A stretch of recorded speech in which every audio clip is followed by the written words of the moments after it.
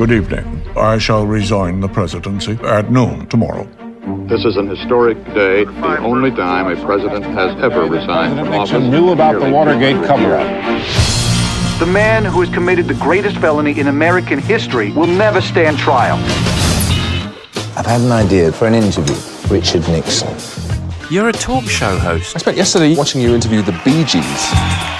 Weren't they terrific? Why would I want to talk to David Frost? I got half a million dollars. Really? Frost has hired three crack investigators. Can I be crack one? Can I be deep crack?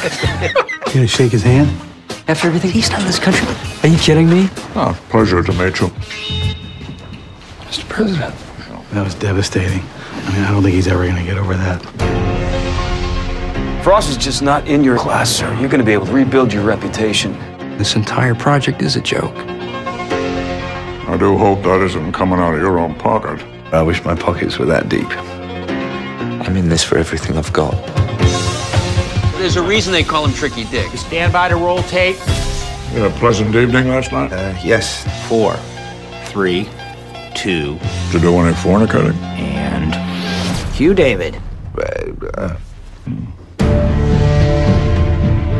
The American people need a conviction.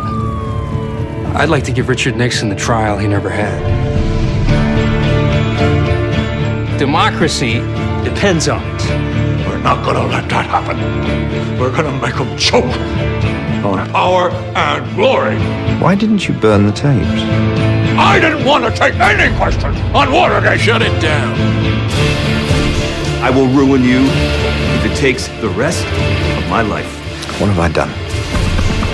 If in this interview Nixon exonerates himself, Four, that would be the worst crime of all.